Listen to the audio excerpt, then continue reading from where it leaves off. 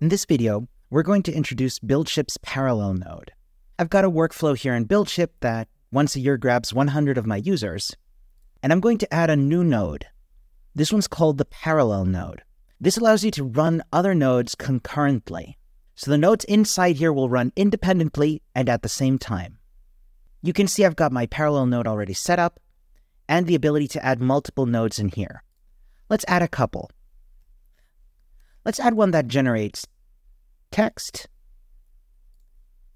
add one that generates an image, and let's add one that sends an email. Now, after I grab my 100 users, the parallel node will at the same time generate some text, generate an image, and send emails via Resend. I can configure these as needed. This is just a starting point. You can expand this any way you like to build your ideas with a powerful backend. See you next time.